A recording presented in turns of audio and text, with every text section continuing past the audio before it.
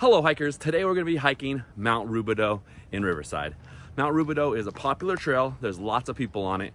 It's not too hard, it's great for the casual hiker, but we're just going to show you where to park, how to get up there, and the view at the top. So I hope you enjoy the video, and we'll see you at the top. As you're heading up to Mount Rubidoux, you will be able to see the entire mountain from the street. That's the entire mountain. You're going to be headed in from the north, so you're heading in south into this parking lot. This parking lot is at Mount Rubidoux Park. It's free to park, so you just go in there, grab a spot, and then start walking up north. When you're just directly north of that parking lot is this sidewalk. You're going to be heading up the sidewalk not too long until you reach the entryway to the trail up to the top of the mountain. So you will see this sign right here. That's the entryway to the mountain and the trail to get up there. And you'll see this little entryway right here.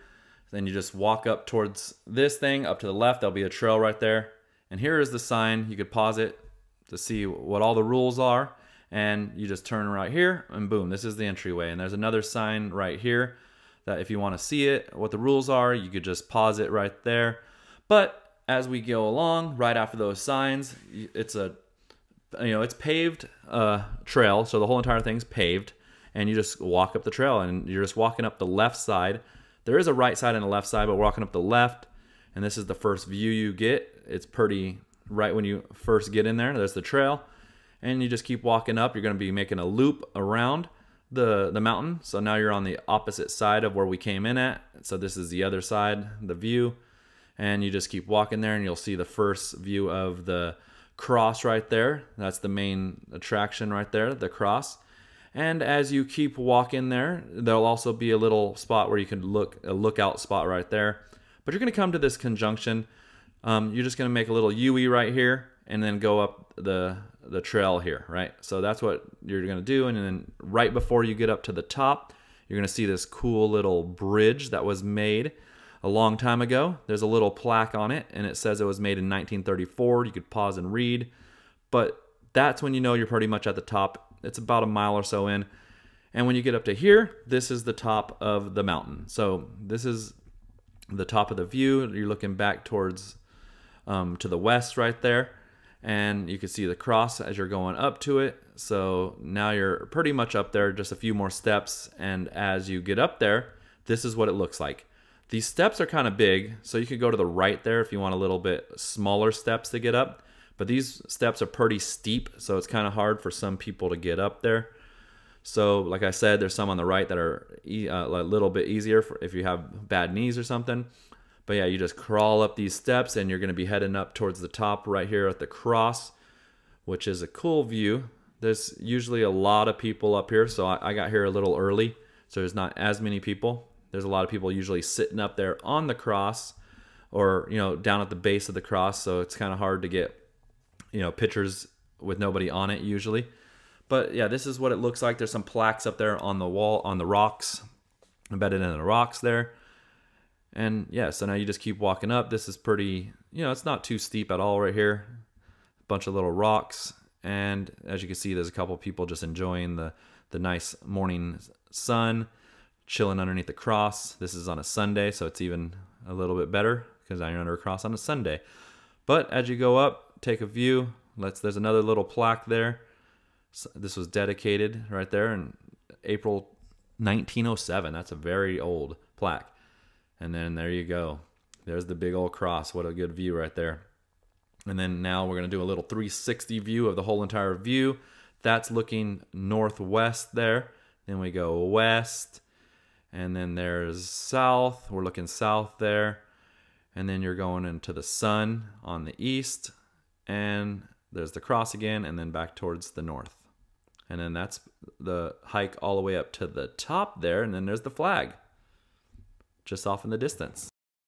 Okay so we're here at the top. Got the cross right here.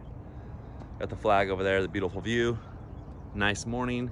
Not too many people up here this morning. Still kind of early. It's before eight o'clock this gets packed later on there's actually two ways i went the left way but you could go the right way which is a little bit longer but I went the left way. It's easier, more steep, but it's a lot shorter to get up here. I'm gonna take the long way down so you guys can see that view. But here's the beautiful view at the top of Riverside and the rest of the Inland, Empire.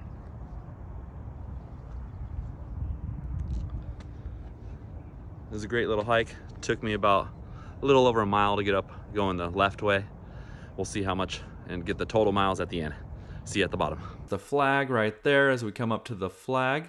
There's another little plaque that talks about what it is. So there's a lot of little plaques on the way that you can read and look at the history of this mountain. It's, a lot of this stuff is pretty old there. And look at that beautiful view of the American flag. God bless America. And as you look over into the sunset, just a nice little beautiful view of the morning view.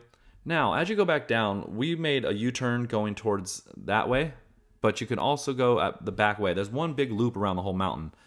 If you go up to the left there, it just goes around back up to the top where you were just at. So it's like a, a one little smaller loop.